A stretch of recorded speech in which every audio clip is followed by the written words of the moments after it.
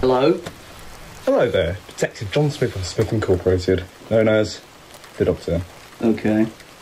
I'm sure that you've seen the article in the papers. No. Great.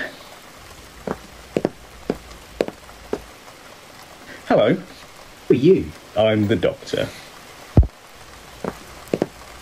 You can't just come in storming like that. Who owns the house? I do. Well then, what's your name? Nathan. Nathan Cook. Nice to meet you, Nathan Cook. And you are? John Cook. I'm guessing siblings. Yeah. Yeah, thought so. Anyways, you may be wondering what I'm doing here. That is one of the questions. What's the other questions?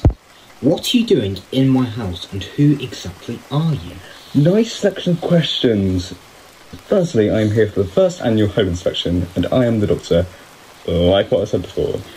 We've never had an annual home inspection. That's why I said first annual.